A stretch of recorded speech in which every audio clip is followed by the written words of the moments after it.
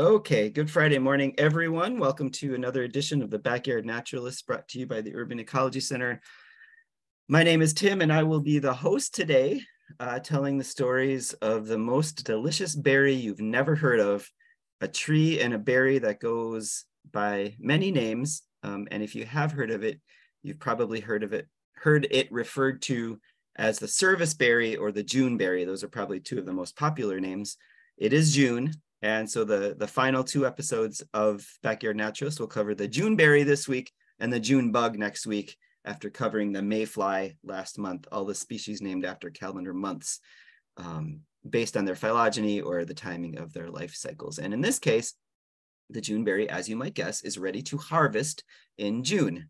So I encourage you to sit back and relax. If you have a bowl of service berries, great. If not, maybe in 45 minutes, you might start thinking about how you can begin to enjoy the service berry harvest in episode 42 of season four of the Backyard Naturalist, Dance of the Sugar Plum Berry, sugar plum being one of the many colloquial names for service berry. And before we begin, as always, we'd like to thank you for joining us here today, whether live or recorded. I'm honored to be sharing this time with you and if you enjoy this time, I encourage you to join the wonderful community of Backyard Naturalist subscribers that keep the sacred time slot Friday morning at 9 a.m. free and accessible to others, where we just bring in wonderful speakers from the community to talk about the things happening in our backyard. So thank you so much. Um, as a subscriber, you never have to register. The link for each Friday's episode magically appears in your email box every Friday morning. Um, you also don't have to pay for the monthly field trips. We do have two Saturday trips coming up, and I apologize that this one uh, I didn't uh, bring this up to you earlier, but so we do have two coming up, uh, one this Saturday tomorrow and one the following Saturday. Um, and uh, and then you'll also, as a subscriber, be invited to our end of year subscriber appreciation party, which will happen in August. So thank you to our current subscribers. I will send all of this information out to you after this talk. Um, I hope you consider renewing for the fifth season. I really can't believe we are entering the fifth season. Um, I'm not sure how many seasons are left, but we are all very excited to bring you at least one more. There's a lot more storytellers in our community and um, species that still haven't had their story told, um, at least not in this venue. So tomorrow's field trip is going to be to one of the oldest forests in Milwaukee County, Cudahy Woods. We're trying again. The first attempt was thwarted by dangerously high winds, and this might even be better because uh, now the the wildflowers. One of the reasons that we go to this um, small but mighty patch of forest. It's one of only three state natural areas in Milwaukee County. Um, and is an absolutely outstanding example of the hardwood forest that once covered most of Milwaukee County, one of my all-time favorite places to visit in Milwaukee. Uh, so hope you can join us tomorrow at one o'clock. Uh, the trip is open to everyone and free to subscribers. And like I said, I will send information. And now on to our story. And my storied relationship with the service berry begins in the year 2009 when we bought our little house here in Martin Drive in Milwaukee. This is what my backyard looked like this morning. Um, but back in 2009, it was a postage stamp backyard that was entirely turf grass. And I mean entirely, except for a small patch of rhubarb that we still enjoy today, uh, which means we got to be intentional in what we planted in our backyard. So the, the tree, the close tree on the right is a bitternut hickory that we planted when my daughter Cece was born. And hidden in the back is a very tall chinkapin oak we planted when my son Henry was born. It's been fun to watch them each grow with their respective trees that are the same ages that they are. Um, but now both trees are pretty massive. Um, and then there's a couple of medium-sized trees in the middle. Hidden behind the hickory is a hop tree. It's a citrus tree, native citrus that we planted when our rabbit Luna died after 12 wonderful years. And um, and then to the left, the kind of middle is the is the, the star of the show today, the American serviceberry tree. So our neighbor is a landscape architect who also noticed when we moved in how barren our lawn was. And he gave us our most cherished housewarming gift, uh, at least one of our most cherished housewarming gifts, this the serviceberry tree. Was it was already a decent size in his yard when he gave it to us. He he dug it up, brought it over in a wheelbarrow with a pretty pretty big root ball, and uh, but now it's grown a lot. It's a it's a large service berry that pr produces many many thousands of absolutely delicious berries. Um, but before that gift, I had no idea what a service berry was. So we were super happy to learn about them, um, especially once we realized how delicious the berries are. And today I'm taking a pretty big detour from all of the past uh, stories, how we normally tell the stories of our featured species. Um, and so I, I, will admit that I hardly did any research at all for this episode um, because one of the very first things I fortuitously came across was an essay uh, by one of my all-time heroes, Robin Wall Kimmerer, author of Braiding Sweetgrass and Gathering Moss. Her work was heavily featured in our episode on mosses a few years back. If you haven't read her work, I strongly encourage you to read her books and writings and essays. Um, and one thing that tends to happen here, admittedly, in Backyard Naturalists is that a lot of the stories we tell are rooted in a Western perspective from, from scientists using old European methods and perspectives. And, and I can certainly do better to share more voices uh, because the stories are better, they're richer, they're more complete, the more perspectives that we bring in. And so uh, early on, I came across an essay that Robin wrote about service berries, and I realized that hers is the best story that I can share with you. Um, and so again, I'm going to do something for the first time. I'm going to read her essay on the service berry. So all of the words you hear will be hers. And I've uh, just added some images that will hopefully complement those words and complement the story. Um, another one of my favorite books is called Plants Have So Much to Give Us, All We Have to Do Is Ask, uh, written by Mary Geniusz. And when you hear Robin tell this fantastic story about the service berry, um, you'll see that it is really told by the service berry uh, who has much to teach us about life. So here is an essay called uh, The Service Berry, An Economy of Abundance by Robin Wall Kimmerer. The cool breath of evening slips off the wooded hills, displacing the heat of the day, and it come, when it comes, with it come the birds, as eager for the cool as I am. They arrive in a flock of calls that sounds like laughter, and I have to laugh back with the same delight. They are all around me, cedar waxwings and catbirds, and a flash of bluebird iridescence. I have never felt such a kinship to my namesake, the robin, as in this moment when we are both stuffing our mouths with berries and chortling with happiness.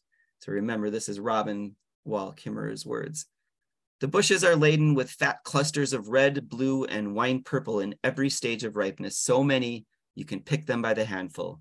I'm glad I have a pail and wonder if the birds will be able to fly with their bellies as full as mine. This abundance of berries feels like a pure gift from the land I have not earned paid for, nor labored for them. There is no mathematics of worthiness that reckons I deserve them in any way, and yet here they are, along with the sun and the air and the birds and the rain gathering in the towers of cumulonimbi. You could call them natural resources or ecosystem services, but the robins and I know them as gifts. We both sing gratitude with our mouths full. Part of my delight comes from their unexpected presence.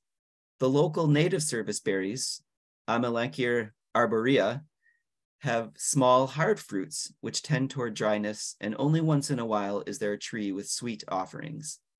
The bounty in my bucket is a western species, A. alnifolium, known as Saskatoons, planted by my farmer neighbor, and this is their first bearing year, which they do with an enthusiasm that matches my own. Saskatoon, Juneberry, Shadbush, Shadblow, Sugar Plum, Sarvis, Serviceberry.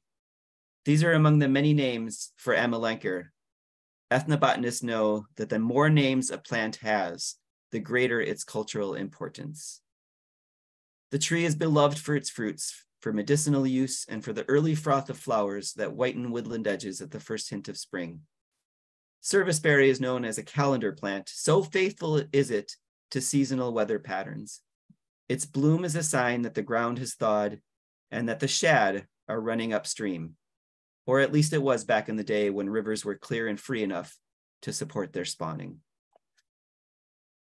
The derivation of the name service from its relative Sorbus, also in the rose family, notwithstanding, the plant does provide myriad goods and services, not only to humans, but to many other citizens. It is a preferred browse of deer and mouse, a vital source of early pollen for newly emerging insects, and host to a suite of butterfly larvae like tiger swallowtails, viceroys, admirals, and hair streaks, and berry feasting birds who rely on those calories in breeding season.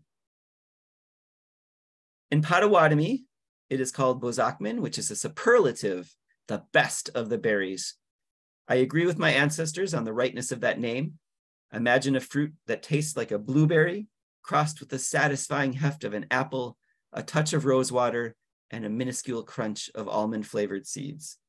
They taste like nothing a grocery store has to offer. Wild, complex, with a chemistry that your body recognizes as the real food it's been waiting for. For me, the most important part of the word Bozakmin is min, the root for berry. It appears in our Potawatomi words for blueberry, strawberry, raspberry, even apple, maize, and wild rice. The revelation in that word is a treasure for me because is, is because it is also the root word for gift. In naming the plants who shower us with goodness, we recognize that these are gifts from our plant relatives manifestations of their generosity, care, and creativity. When we speak of these not as things or products or commodities, but as gifts, the whole relationship changes. I can't help but gaze at them, cupped like jewels in my hand, and breathe out my gratitude. In the presence of such gifts, gratitude is the intuitive first response. The gratitude flows toward our plant elders and radiates to the rain, to the sunshine, to the improbability of bushes spangled with morsels of sweetness in a world that can be bitter. Gratitude is so much more than a polite thank you. It is the thread that connects us in a deep relationship, simultaneously physical and spiritual, as our bodies are fed and spirits nourished by the sense of belonging, which is the most vital of foods.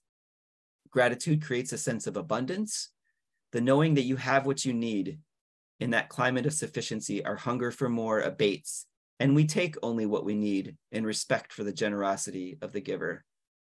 If our first response is gratitude, then our second is reciprocity, to give a gift in return. What could I give these plants in return for their generosity?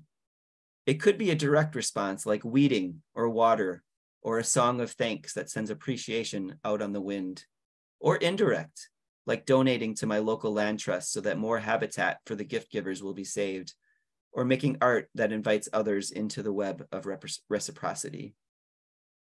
Gratitude and reciprocity are the currency of a gift economy, and they have the remarkable property of multiplying, multiplying with every exchange, their energy concentrating as they pass from hand to hand, a truly renewable resource.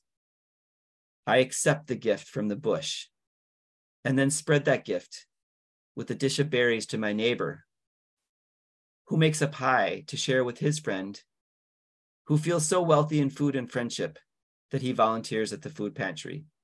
You know how it goes. To name the world as gift is to feel one's membership in the web of reciprocity. It makes you happy and it makes you accountable.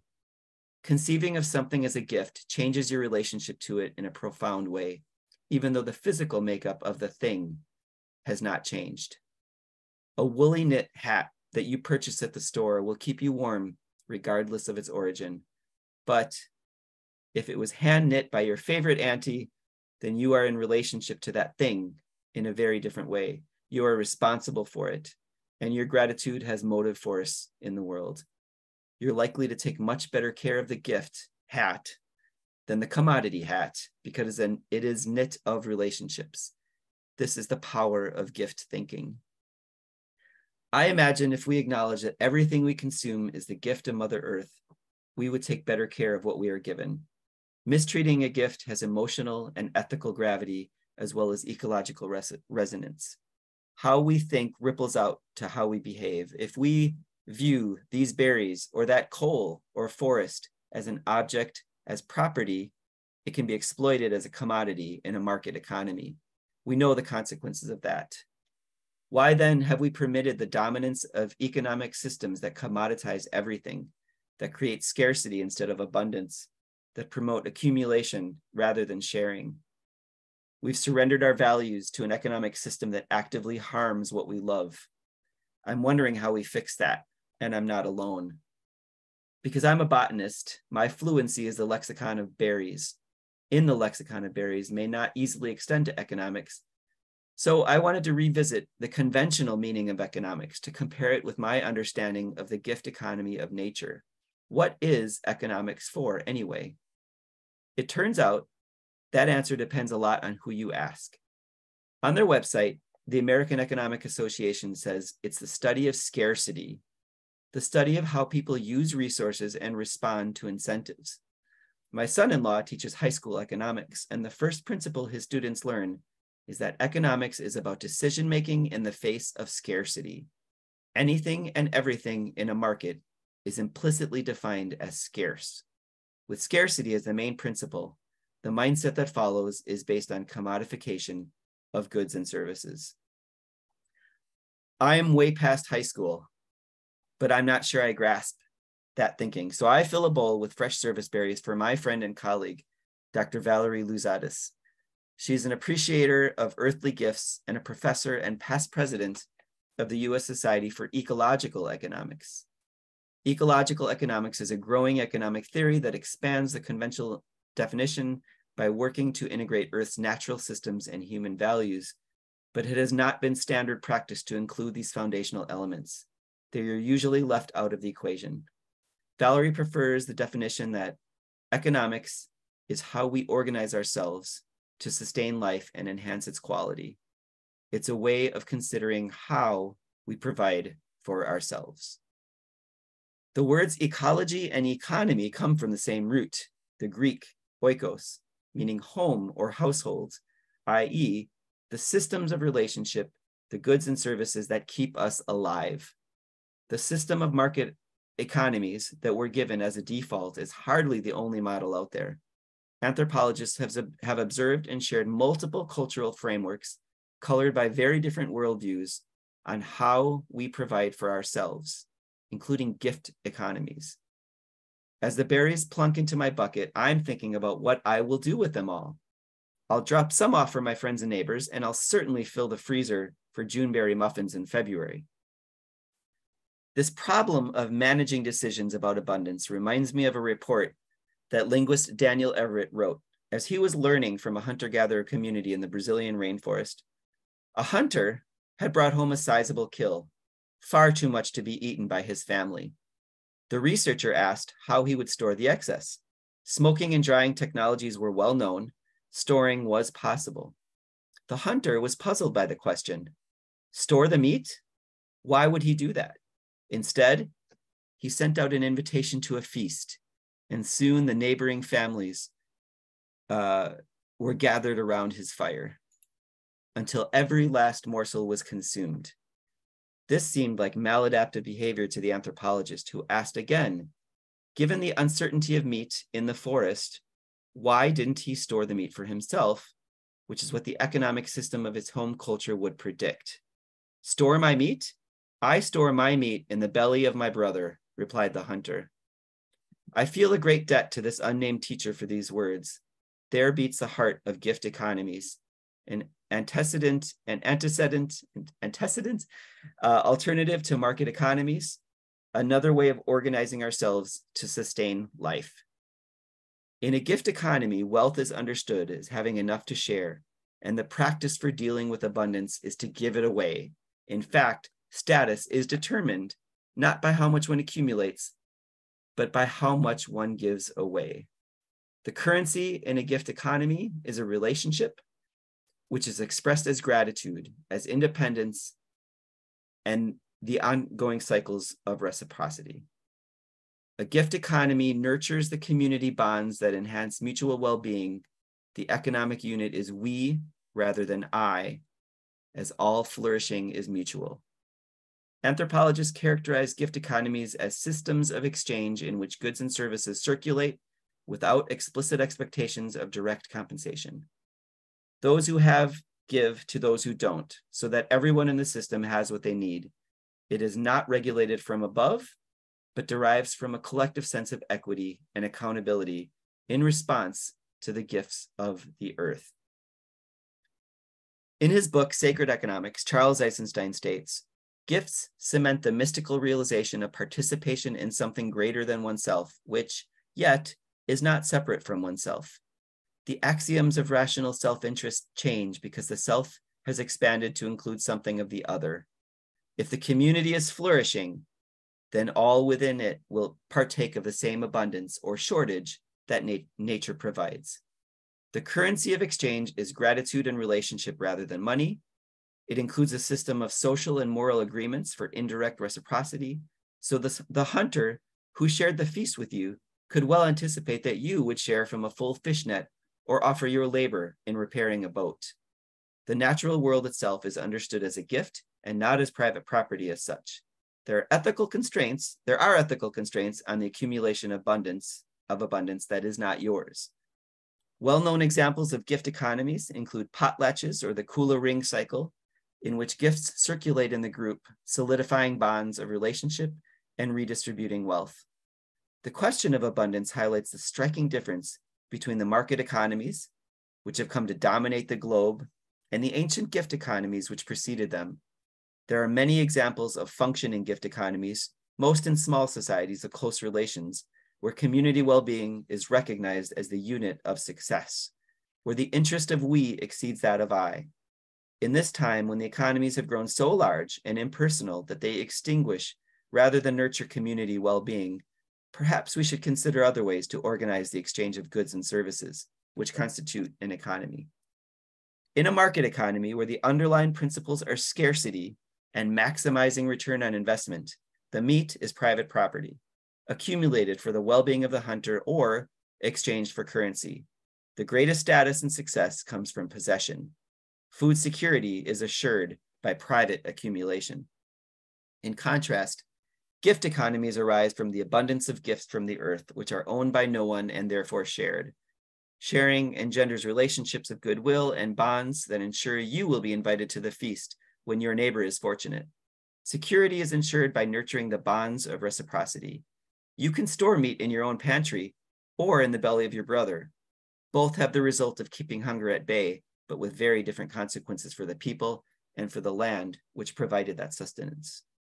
I haven't studied economics in decades, but as a plant ecologist, I've spent a lifetime asking the plants for their guidance on any number of issues.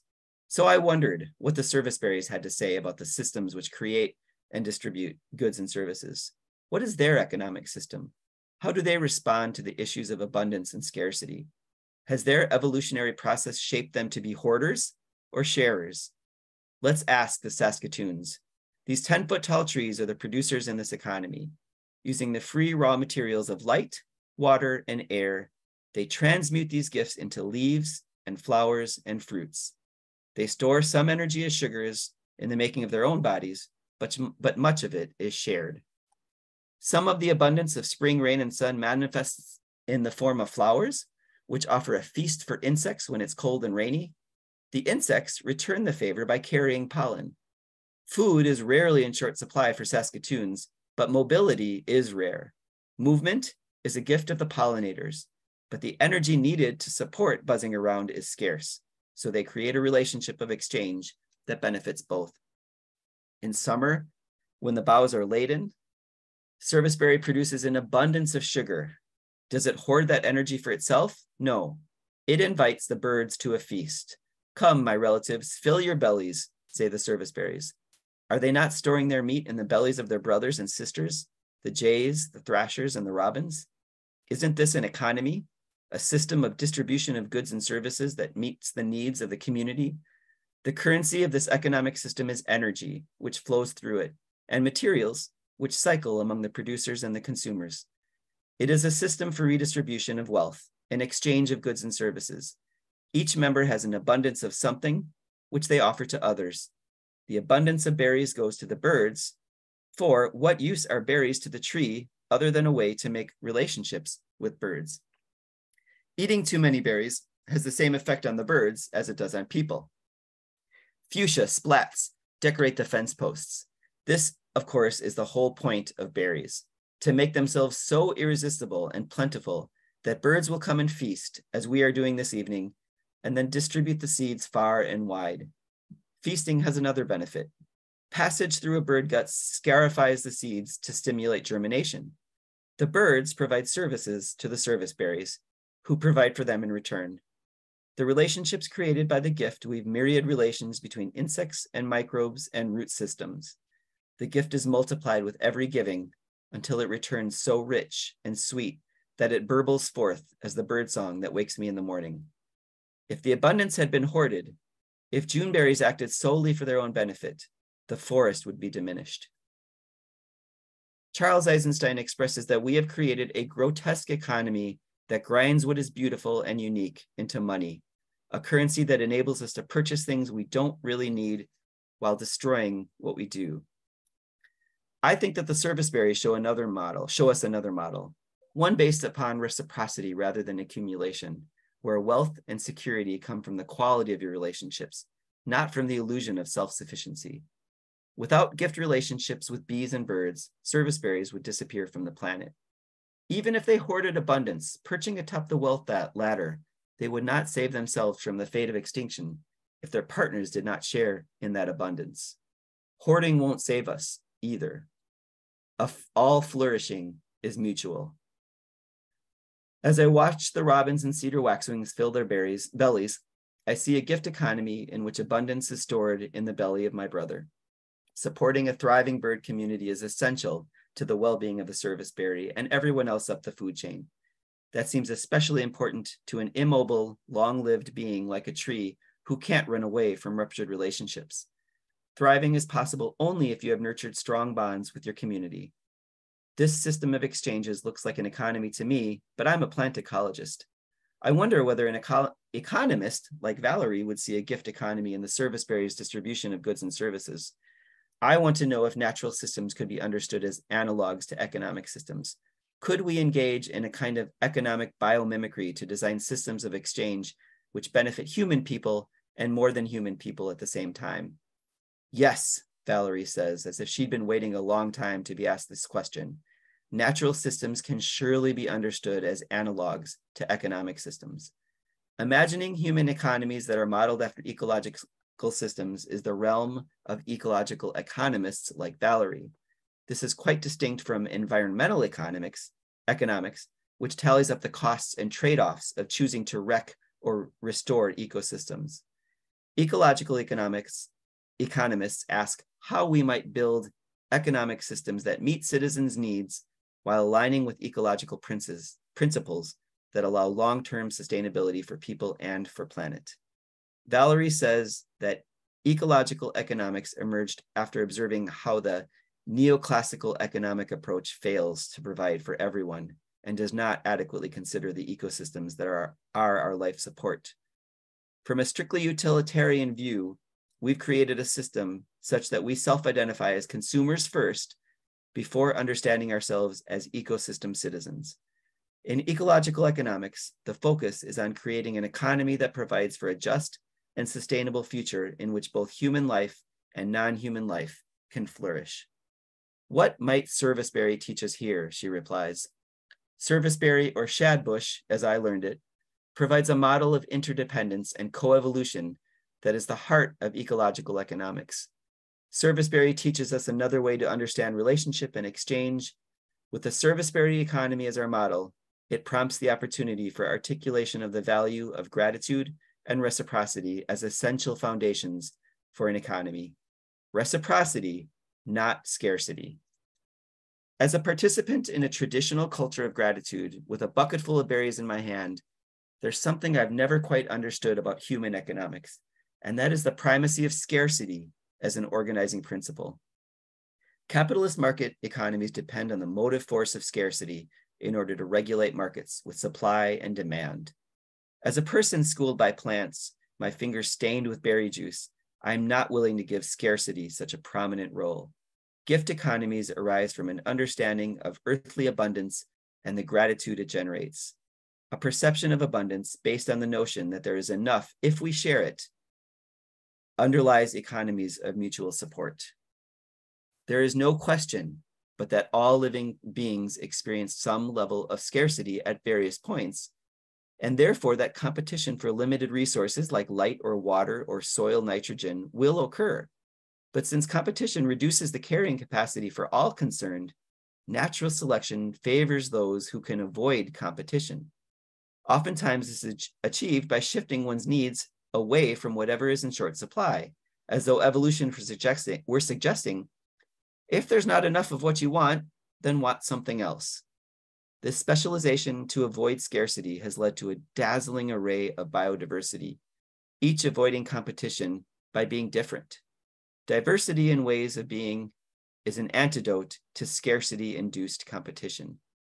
Evolutionary biologists would perhaps reject this notion, framing the lifeways of service serviceberry as maximizing self interest through natural selection, which is the same sort of argument made by market economists, maximizing self interest in economic behavior through competition for scarce resources.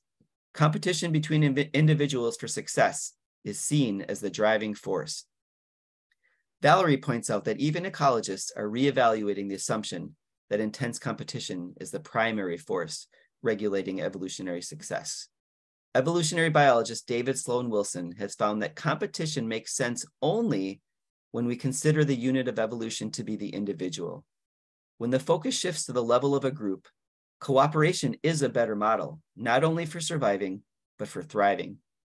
In a recent interview, author Richard Powers comments there is symbiosis at every single level of living things, and you cannot compete in a zero sum game with creatures upon whom your existence depends. And yet we continue to operate our economic systems from the foundation of competition. I think the serviceberries discovered this long ago, and we humans need to catch up. What if scarcity is just a cultural construct, a fiction that fences us off from gift economies? When I examine serviceberry economics, I don't see scarcity. I see abundance shared. Photosynthate is usually not in short supply since sun and air are perpetually renewable resources. Of course, sometimes there's not enough rain, and then the scarcity ripples through the web of relationships for sure. That is real scarcity when the rains don't come, a physical limitation with repercussions that are shared just as abundance is shared. That kind of scarcity is not what troubles me. It is manufactured scarcity that I cannot accept. In order for capitalist market economies to function, there must be scarcity. And the system is designed to create scarcity where it does not actually exist. Because I have not thought much about economics since my introduction to it in high school decades ago, I realized that I had just been accepting the principle of scarcity as if it were a natural fact, not an economic assumption. I try and lay out the understanding for myself to think like an economist, not an ecologist. In order for money to be made, there must be commodities to be bought and sold. The scarcer those commodities, the greater the revenue. So, I guess I do understand this. Market economics demands that abundant, freely available earthly gifts be converted to commodities and made scarce by privatization and a high price. This seems crazy. So let me test my understanding with the example of pure, beautiful water, a gift from the skies. It was previously unthinkable that one would pay for a drink of water. But as careless economic expansion pollutes fresh water, we now incentivize privatization of springs and aquifers. Sweet water, a free gift of the earth, is pirated by faceless corporations who encase it in plastic shells to sell. And now many can't afford what was previously free, and we incentivize wrecking public waters to create demand for the privatized. In contrast, in indigenous societies all over the world where remnants of gift economies endure, water is sacred, and people have a moral responsibility to care for it, to keep it flowing as the lifeblood of Mother Earth. It is a gift to be shared by all, and the notion of owning water is an ecological and ethical travesty. The indigen- indigenous philosophy of the gift economy, based in our responsibility to pass on those gifts, has no tolerance for creating artificial scarcity through hoarding in fact, the monster in Potawatomi culture is the Wendigo, who suffers from the illness of taking too much and sharing too little. At one point, while writing this essay, as I was struggling to imagine how the ways of service berries and ancient gift economies could help us imagine our way out of the mutual, mutually assured destruction of unbridled capitalism, I needed a break from the Wendigo shadows that were creeping toward me. Thankfully, I was interrupted by a text from my neighbor Polly, as though she were reading my troubled mind from across the valley. Polly invited me to come pick berries at her farm, service berries, for free. The tingles of synchronicity propelled me away from my desk to the orchard.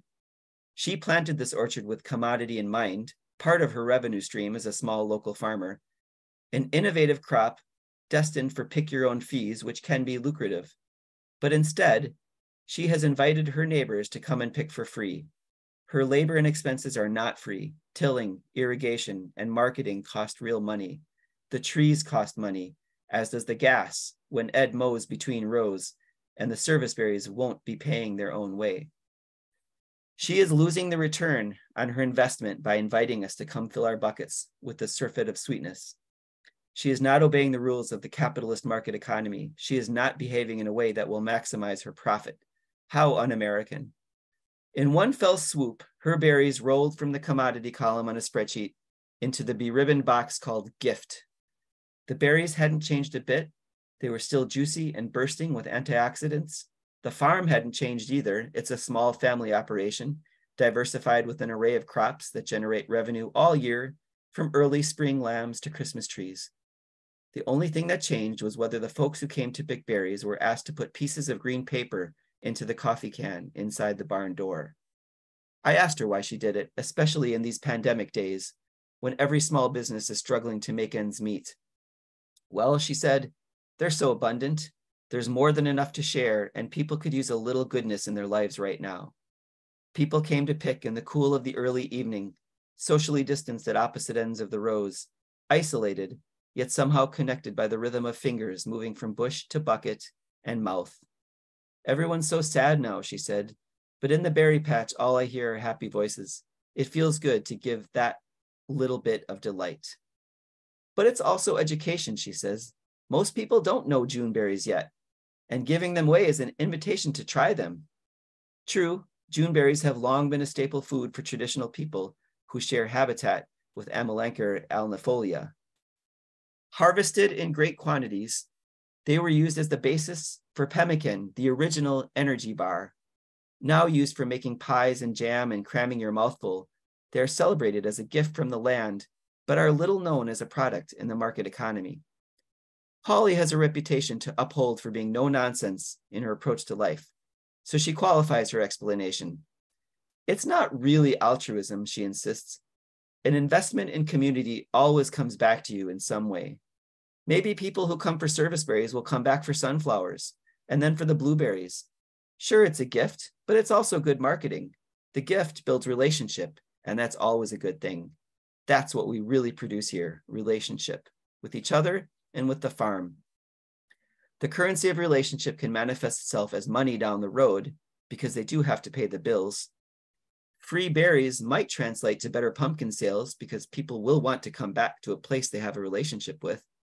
People feel like they got something more than they paid for, she explained. They learned about a new food or watched the kids climb on hay bales. Good feelings are the real value added. Even when it's paid for as a commodity, the gift of relationship is still attached to it. The ongoing reciprocity in gifting stretches beyond the next customer, though, into a whole web of relations that are not transactional. They are banking goodwill, so called social capital, being known as a citizen is always of value, she says. If someone leaves a gate open and her sheep end up in my garden, there's a cushion of goodwill in place so that the munched dahlias may be forgiven. The way I see it, she says, always value people over things. There's that old line that farmers like to spout. Without farmers, you'd be naked, hungry, and sober. But it goes both ways. Without good neighbors, you'd also be alone and that's worse. And that customer who comes to value the smell of ripe berries and the view of lambs on pasture and the memory of their kids climbing on hay bales, they just might vote for the farmland preservation bond in the next election. That's a fine return on investment from a free bucket of berries. I cherish the notion of the gift economy that we might back away from the grinding market economy that reduces everything to commodity and leaves most of us bereft of what we really want relationship and purpose and beauty and meaning, which can never be commoditized. I want to be a part of a system in which wealth means having enough to share and where the gratification of meeting your family needs is not poisoned by destroying that possibility for someone else. I want to live in a society where the currency of exchange is gratitude and the infinitely renewable resource of kindness, which multiplies every time it is shared rather than depreciating with use. You might rightly observe that we no longer live in small insular societies where generosity and mutual esteem structure our relations, but we could.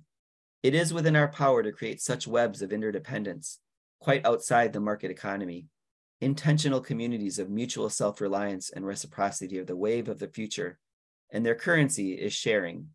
The move toward a local food economy is not just about freshness and food, food miles and carbon footprints and soil organic matter. It is all of those things, but it's also about the deeply human desire for connection, to be in reciprocity with the gifts that are given to you. The real human needs that such arrangements address are exactly what we long for, yet cannot ever purchase being valued for your own unique gifts, earning the regard of your neighbors for the quality of your character, not the quantity of your possessions, what you give, not what you have. I don't think market capitalism is going to disappear anytime soon. The faceless institutions that benefit from it are too entrenched, but I don't think it's pie in the sky to imagine that we can create incentives to nurture a gift economy that runs right alongside the market economy, where the good that is served is community.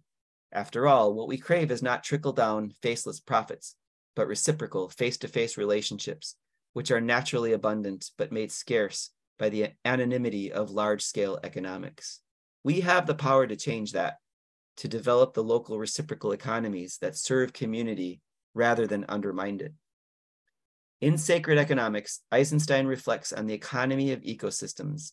In nature, headlong growth and all out competition are features of immature ecosystems, followed by complex interdependency, symbiosis, cooperation, and the cycling of resources. The next stage of human economy will parallel what we are beginning to understand about nature. It will call forth the gifts of each of us. It will emphasize cooperation over competition. It will encourage circulation over hoarding and it will be cyclical, not linear. Money may not disappear anytime soon, but it will serve a diminished role even as it takes on more of the properties of the gift. The economy will shrink and our lives will grow. I see this in the example of my neighbors, both the farmers and the berries. Yes, they have to pay the bills and are part of the market economy, but with every commodity traded, they add something that cannot be commodified and which is therefore even more valuable. People come for a sense of connection to the land, a laugh with the farmer as a fellow human who cherishes the crisp fall air, not for the commodity of a pumpkin, which, after all, you could buy anywhere. Continued fealty to econo- economies based on competition for manufactured scarcity rather than cooperation around natural abundance is now causing us to face the danger of producing real scarcity, evident in growing shortages of food and clean water, breathable air, and fertile soil. Climate change is a product of this extractive economy and is forcing us to confront the inevitable outcome of our consumptive lifestyle, genuine scarcity for which the market has no remedy. Indigenous story traditions are full of these cautionary teachings. When the gift is dishonored, the outcome is always material as well as spiritual. Disrespect the water and the springs dry up. Waste the corn and the garden grows barren. Regenerative economies, which cherish and reciprocate the gift, are the only path forward to replenish the possibility of mutual flourishing for birds and berries and people. We need an economy that shares the gifts of the earth, following the lead of our oldest teachers, the plants. So thank you for joining me today. I, I feel honored to have been able to share the words of Robin Wall Kimmerer, who is sharing the story told by the service berry. The Urban Ecology Center acknowledges that the land and waterways we steward, learn from, and love near Michigami, commonly referred to as Lake Michigan, are the traditional lands of indigenous peoples, including the Potawatomi, Menominee, and Ho-Chunk. Past, present, and future caretakers of these lands and waters include the Ojibwe, Peoria, Sauk, and Fox, Oneida, Mohican, Brothertown, and other Indigenous peoples. As we celebrate and connect people to these natural spaces and species, we acknowledge that the land and waterways of Milwaukee have been the home of Indigenous peoples long before European settlement, before memory or record. Through deceit, forced removal, and massacre, colonizers attempted to erase Indigenous peoples from this land and these waterways. Indigenous peoples are strong and determined, and there are many communities in the Milwaukee area today who are keeping the stories, languages, and traditions of Indigenous peoples alive. Acknowledging the complex past and present traumas and triumphs is a step toward healing and a more just future. Michigami is the Algonquin word meaning great water. The name Lake Michigan was derived from this word. There is nothing that I can add or want to add to the story, um, but I will end with two resonating images from my own relationship with the story. Uh, I am stewarding a cap that was knit for me by my grandma Jeanette who one day was worried that I was playing outside in the cold. And so she furiously knit this cap, thrust it into my hands, and said, Here, now at least you won't catch a cold. That part of the story of the gift economy really hit home. And yesterday morning, when we were furiously trying to get the kids ready for summer camp at the Urban Ecology Center, I called out their names. They were nowhere to be found because they were here. They were harvesting the massive bounty of our serviceberry tree who has an abundance willing to share with my children and the many cedar waxwings that reside in our yard every June. Uh, if you ever want to see cedar waxwings, come to my yard in June. They are there. Um, and our neighbors and friends, and you all listening here today, this is what our Juneberry tree looked like about an hour and a half ago. And you are all welcome to come share in this abundance. Uh, so thank you for joining me today, and we will see you next week. I will stop sharing my screen.